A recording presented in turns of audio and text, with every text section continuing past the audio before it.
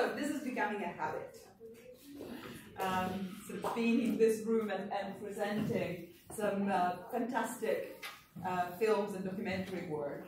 Now tonight we are in, you are in, I have already had a treat because I've seen this before.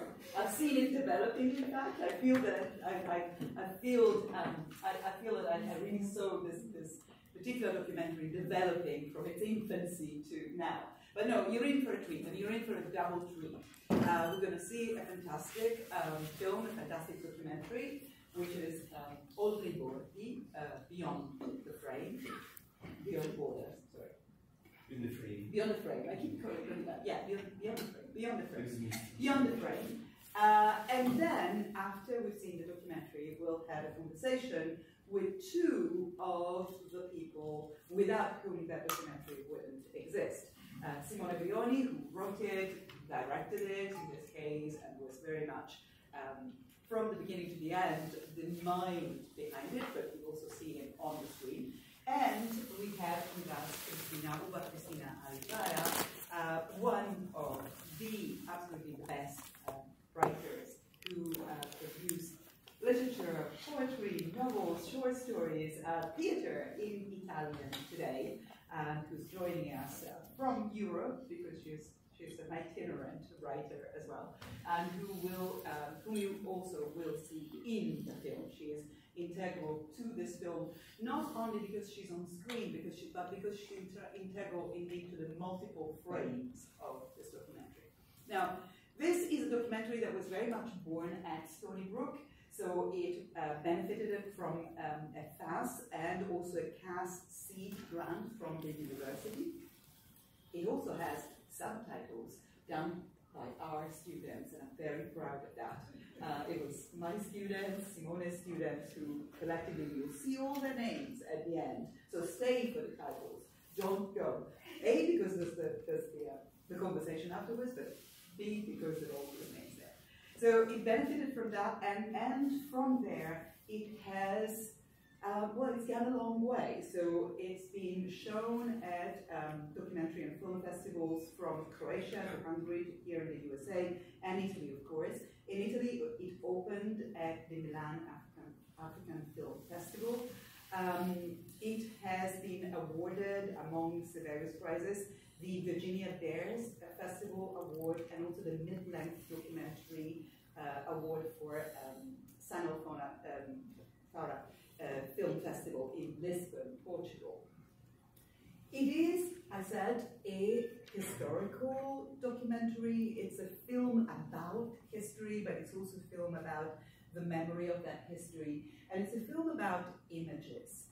And you have that fantastic um, sentence there, that quote from Maaza Mengiste, another phenomenal writer who was a guest here um, a couple of years ago. It was a, our first event after COVID was with Maaza.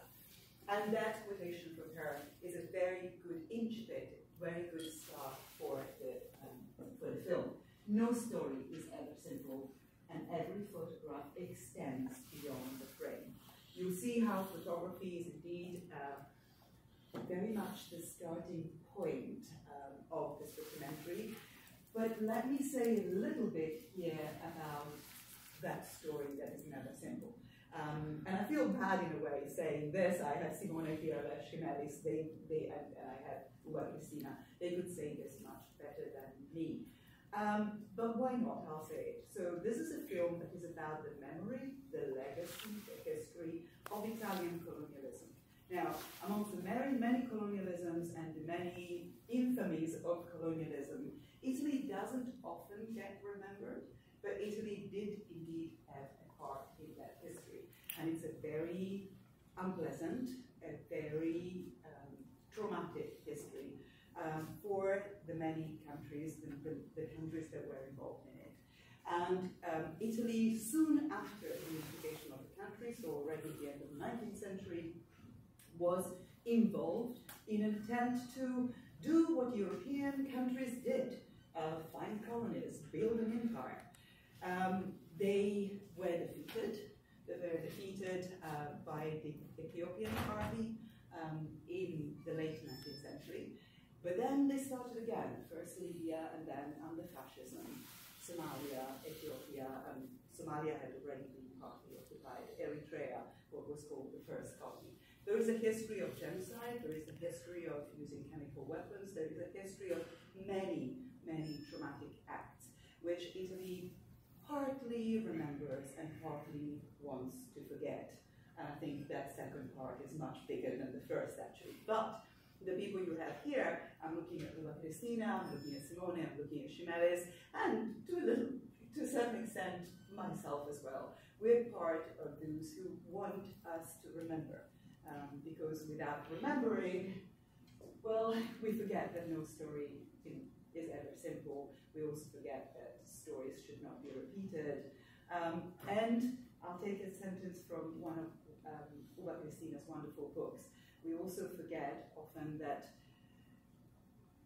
these histories hit everybody and these histories involve everybody. There's an amazing uh, sentence in one of Ubah Cristina's latest novels, um, this one, Le Stazioni della Luna, not yet in English, but I hope it will be very soon because it's amazing.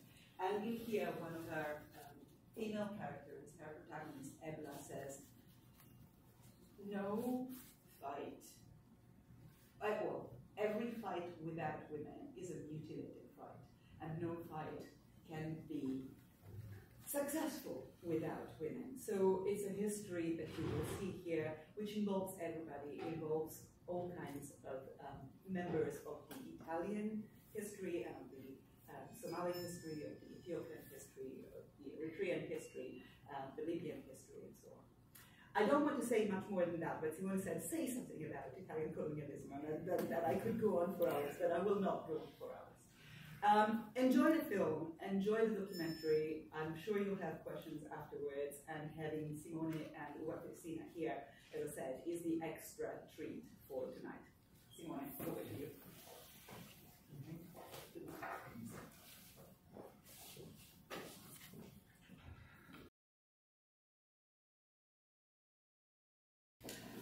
Um, I'm sure you have questions. I would have plenty, but I can get them later. So, do you have questions at the end of this? I can always start. Yeah. Um, first of all, just thank you, both of you, um, and uh, uh, thank you to Stony Brook for investing in this wonderful project. Um, seldom do I feel that our funds are so well used. Uh, this was absolutely fabulous. Um, my question relates to the tone, um, because it, it, was really striking to me that at the opening you set a comical tone.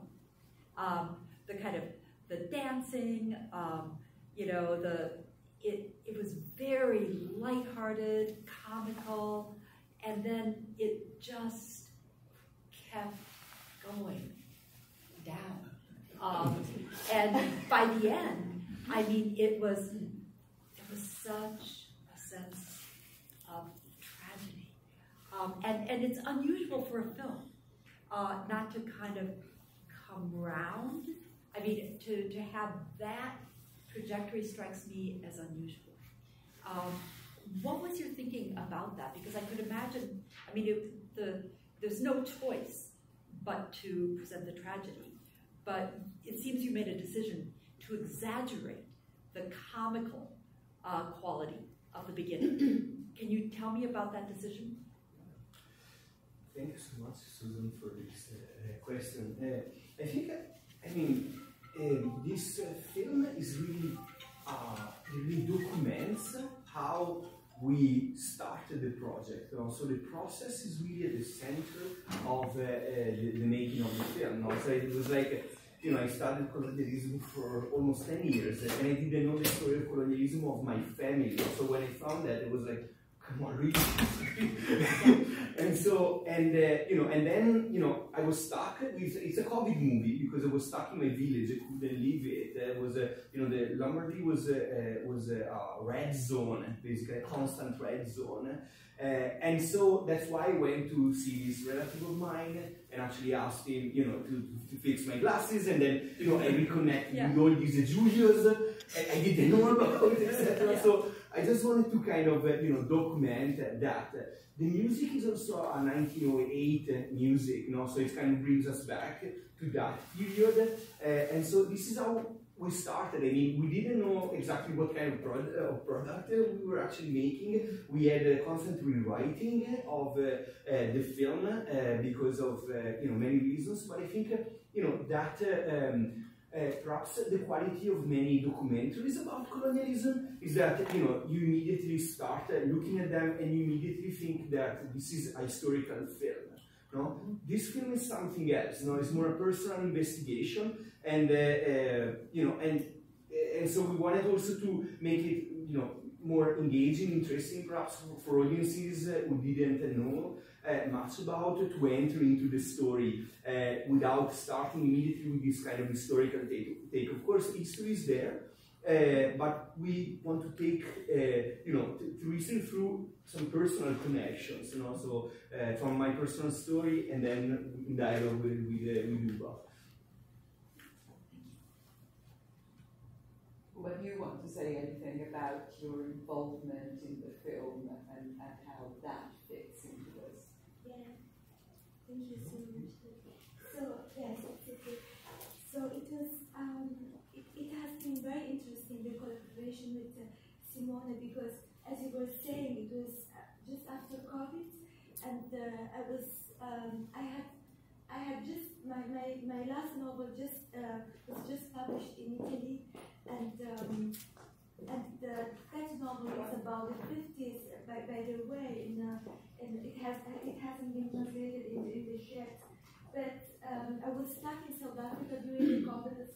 We were all stuck somewhere, and um, it was very interesting for me this process of writing this novel because I, I was stuck in the 50s in Somalia, in Mogadishu, reading all these uh, newspapers, daily newspapers, um, uh, uh, which were called uh, Corriere della Somalia in Italian, and um, so not really reading not many things about about what was happening in the world with COVID, but it's all the ordinary life that Italians were living in Mogadishu in those years.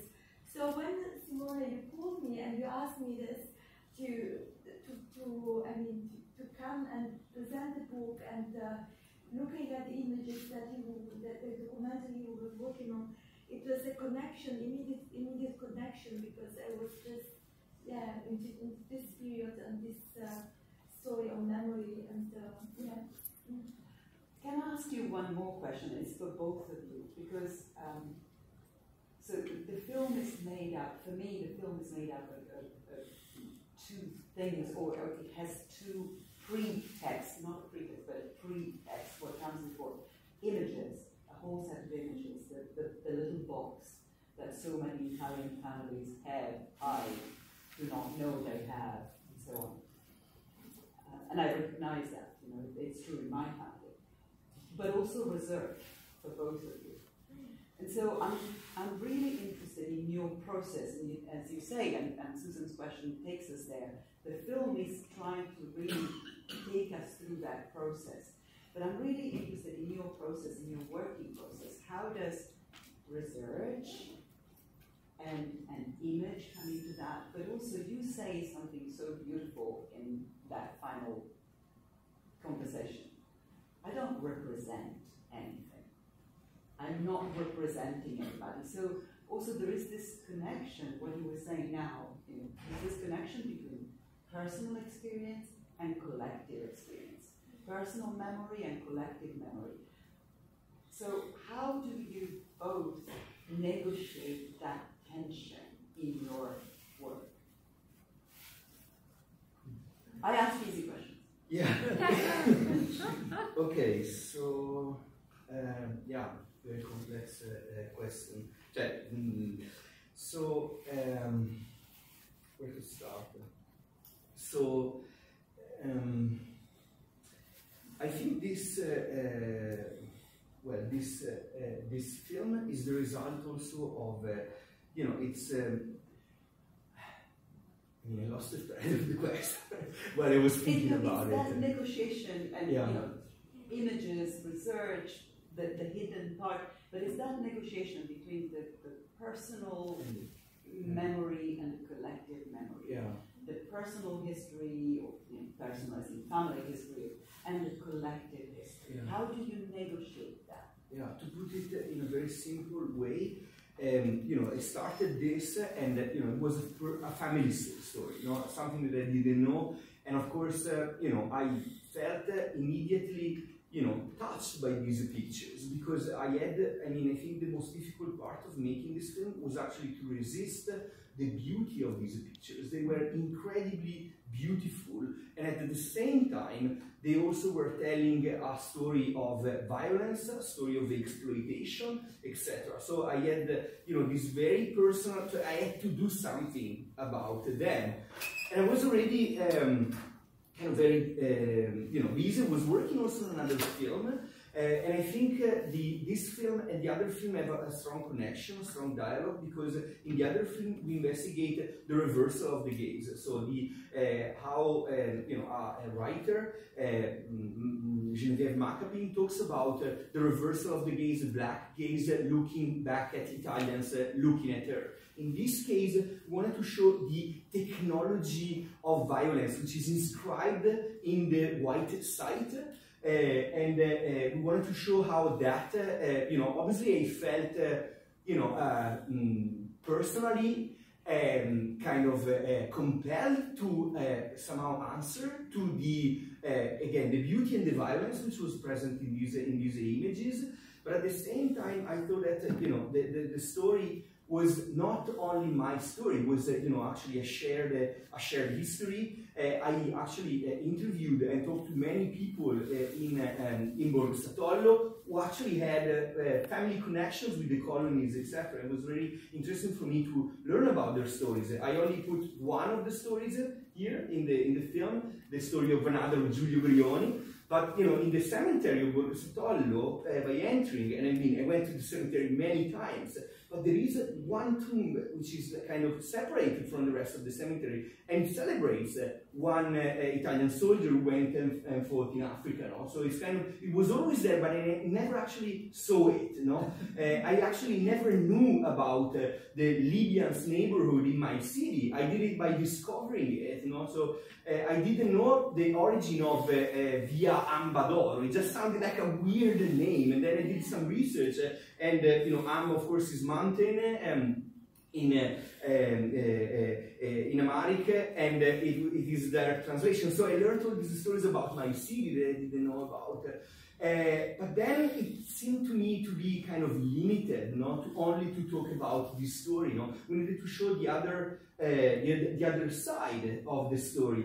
Uh, and uh, yeah, I think eh, uh, Ubah, I mean, it's partly an autobiographical inspired film because I learned so much by reading Ubah's work and, you know, from her books and from the dialogue that we had in this, you know, indirect or direct dialogue that we had in these years. and so for me, you know, talking about this autobiographical experience was also somehow to give back what I've learned thanks to Tuba and her work and the work of other writers who actually have been able to show this uh, story from a different perspective. It's true. Yeah, thank you, thank you so much for your question. I think that what I say, I don't represent anybody, not, and, and, I'm not representing. Yeah, I'm not here to represent, exactly. Yes, but, but uh, the important thing for me is always about responsibility in history. I mean, as, as I was saying the film, I mean, there are historical responsibilities, but then also if, if when we are, we can always choose our position. Um, we, we always have the possibility to take the right choice and to stay on the on on the other side in a way. And um, and so about sources, when we were talking about sources, then I think that for me was uh, really a privilege because I worked for some years at, a, at an Archivio Somali, Somalia, which, is, which was a very controversial place because um, there were, it was a collection of all documents um, taken by Mogadishu after the war, and um, there were there are not many archives left from Somalia because of the civil war in Mogadishu. So I had the, the, the chance to have access to all these documents, but also Somali um, I mean, poems and the conversation of, of all people that were recorded during those years. And so listening and having this um, the possibility to understand Somali, I had the two versions of the story. I mean, the Somali part, uh, not only the images, and the, this everyday life that I repeat, this, yeah. these sources about the Corriere della Somalia were very interesting because there were also letters written by from Somalis that were somehow resisting to, to the Italian to the Italian occupation. So there was this conversation going on, even though the journal was uh, the I mean um, the newspaper was Italian. So this this kind of uh, um, possibility to see and understand the two positions in the in this kind of forced um, yes. And and what you say that that little small not little small everyday gestures can yes. be very much part of that resistance and that resilience as well, which sends me back that that sentence that I love so much in, in the Stazione della Luna that no no resistance without, without no fight without women yes. can ever be complete. It, it, it, and, and, and so when you say to someone, this, these photographs tell the story mostly from male gaze as well, not just from the gaze, but also from male gaze. And so that's what's missing there. You must have more questions. I've kept them talking for a while. One here, yep. Um, I'm not sure this is a question so much as a comment, although it follows from the discourse we've just had. Um, I'm terribly struck by the end of it, in which you have the pictures of the obelisk, you learn what obelisks stand for, and then you get this voice saying, you won't let me in, you keep my obelisk for 70 years, but I can't stay here. And that's a terribly powerful summary that lands the question of what to do about what you've learned squarely with us about now what. Um, but it comes without an image and it isn't personal anymore, right? We don't know who's speaking that, right? Um, and, and, I just wondered if you could say something about that. That is a very visual film, obviously, and yet what resonates at the end is there is no person speaking it, there is no image of the person speaking it. It's, it's just there as this is the conundrum I've reached by the, the early part of the film. And, and I wonder how you feel about, about that. It's a film that at the end does something almost not filmic. You mean that quotation that, that Christina cites about the, the, the migrants saying you? Yes. I want yes. that oh, there. Yeah. yeah. It's, it's very powerful. Yeah, I think, uh, you know, we wanted to, again, to maintain that kind of personal, uh, you know, touch. It is uh, our personal perspective on these on these uh, on these photographs. And again, there is uh, you know what can be done.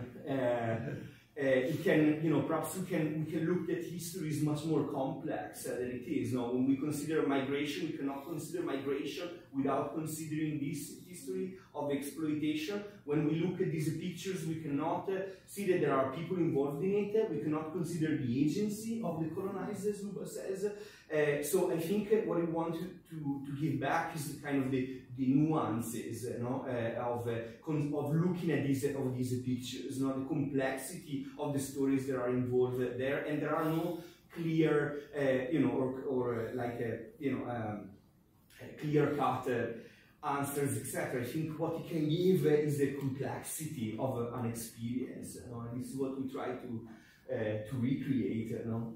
Which goes back to Maaza's beautiful quote at the beginning. Yes. Yeah.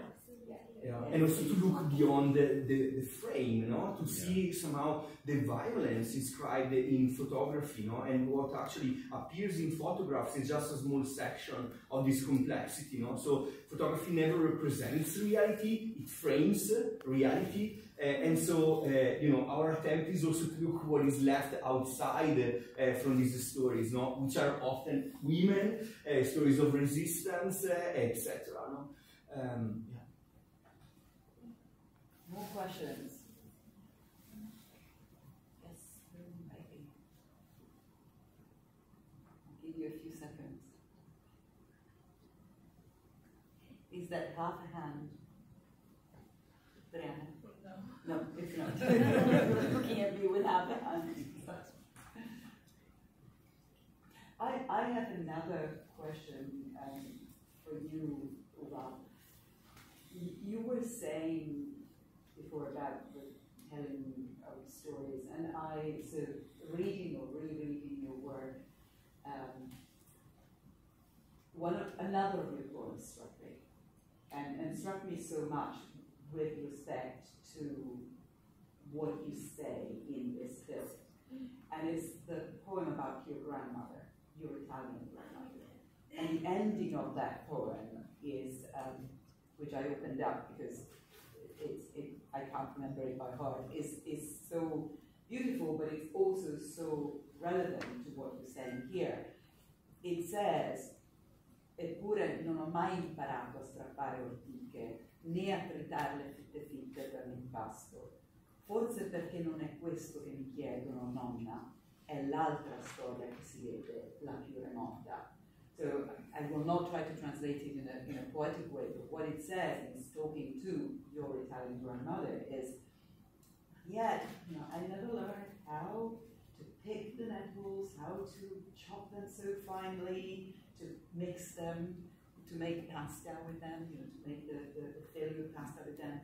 And maybe that's because what they asked me is the other story, the more distant one. And, and sort of I hear in that, you know, the more remote for those ones, but also the more exotic perhaps, you know. So it's this moment when you're almost saying, I'm being asked to interpret that role, to be that other side of the story. And it's a really beautiful moment there because there is this ambiguity again, this tension. Think that some, somehow is, is, is connected also uh, to the moment when I moved to Italy. I mean, for me, it was really a shock. I mean, being Somali and being Italian for me was something natural. I grew up in Mogadishu, and um, somehow I think also that I was lucky enough. This is why I always insist about having an Italian mother and Somali father, because Somali is a, again a very patriarchal society. So, as the daughter a Soma- of a Somali father, I was Somali, and I, I didn't represent. I mean, the colonizer and um, I was really in love with all the Somali culture. I, I was allowed to be part of the Somali family, even though I was studying in Italian. I mean, the, my formal education was in Italian. So these two things, being Somali, being Italian, was not something that was um, a contradiction in, inside of me. But I understood that it was very complicated to negotiate these two identities when I arrived in Italy because it, were, it was the early the 90s when Italy started to become, uh, I mean, the, the right parties started to have more and more space, especially in the in the regions where my mom and Simone is from as well. Sorry, and uh, yeah, in the northeast and in, and in Lombardia, and so um, people were asking me all the time, oh, why you speak Italian so well. So I had all the time, yes, all the time to, to retell the story. So I understood that there was this huge gap, uh, a lot of racism, and um, and uh, yeah, and so this, this, that was the moment when I I started um, thinking about the connection of the two countries because otherwise it to me was something very natural. Yes, and uh, yeah, that I didn't have to to claim uh, all the time. So yeah, so thank you so much for that. quoting Well, that that, it's a stunning, again, we heard one of your fantastic poems in, in, the, in the film. This is another one that I, I love very much. Yeah. I had a quick question, just you know, for both of you. Like, how first, how do you envision the film circulating, and then also, how would you dream that the film could circulate? uh, specifically, you know, who is this for? Is this for you know Italians? Is this for you know uh, Somalis, Ethiopians, Eritreans, sea wolves? You know, um, specifically, you know, thinking about the choices that you, the choice that you made to have subtitles, right, as opposed to overdubbing, right? You know, to keep the just to use the Italian language versus, you know, think about all the different options that you could have used. So, I think, uh, you know, the, the circulation of a film is not something that you could uh, decide. Even the, when the shape of the film isn't something that, have, that, have, that we have designed. You know, like uh, Macca was pretty much written uh, at the beginning and then it was rewritten, etc. This film was kind of, you know, we kind of added uh, little parts, we rewrote some parts, etc. We were able to intercept Ubah, who was, you know, she is in Belgium. Uh, and so, um, we didn't really. Um, I think for sure uh, this is a, a, film that you know. I, when I see the circulation, I always uh, see you know students as part of it. It's also a film essay, so it's a way to kind of reach uh, uh in a different uh, uh, you know the, the, the audience that I usually you know that I usually talk to, so universities etc. I have indeed also prepared some didactic activities that goes with the documentary. Uh, but uh, it will it has circulated in uh, film festivals globally in Korea, in Japan, in Hungary, in Croatia, etc. And it circulated. It went to three documentary film festivals in the US. So I don't know exactly what the circulation is going to be. Uh, it will be um, uh, releasing, you know, uh, in um, in open access by an Italian distributor called OpenDDB, which makes mostly political movies. Um, we presented it at a film festival about uh, economics in Trento, uh, and uh, so I think that you know, uh, I think you think about uh, the circulation of a film when you have uh, when you can make money out of it. Uh, but there is also a network of you know a grassroots network of uh, possible venues in which this film can be circulated, which uh, you know are unexpected. Also, the people who, collaborated with this film. I mean, the composer of the music, uh, I never met him in person. is an um, Egyptian composer who lives in uh, between London and Brussels. Uh, and he's a friend of a friend. I showed him the work, he liked it, and so he decided to make uh, the music. So it's a pretty much transnational work. The uh, the poster was made by my uh, my uh, sister-in-law um, Jane, and she usually does Hollywood movies, so posters for Hollywood movies. So I think it was really a grassroots contribution, and uh, you know, I don't know exactly how you know where it will circulate. But you yeah. must though say what, how it went down locally, because you have now shown it in ah, the, true. the local community. So you should say something about that. Yeah, that's true. I think it was. I mean, we presented it at Seton Hall and it was actually very interesting because uh, the Italian American, there was actually quite a huge Italian American community at the screening, and they didn't know much about uh, colonialism. So they were really interested in knowing more about uh, uh that. Um, also, sorry, I meant the local community there, but yes, here. okay, I, yeah. I, meant, I meant, I meant where it started. Ah, in, ah no, the, uh, and of course, I mean, it was always a great success. we, had, we have to know, say that. No, yes. I, I, think that was actually very interesting because you know, like uh, you know, people I you know I, I grew up with, but they you know they are you know mostly workers. Uh, they didn't know about much about the story, and they stayed there watching the film. No, and to see my friend Francesco Salvolai, with whom I played soccer, uh, you know, and uh, you know, who didn't know anything about uh, the film, stayed there, was actually you know, drinking an aperitif, you know, and he passed by and said, oh, do you want to watch the film? And he stayed there for 40 minutes. I think that's the greatest success uh, uh, of uh, this movie. So locally it went, you know, also people who didn't know much about it, you know, they, they watched it, were interested in it. It was presented in movie theaters in Italy as well, which was also another great, uh, you know, uh, success. So, you know, the, our point, you know, for our collaboration is that, you know, living abroad, uh, it's always so difficult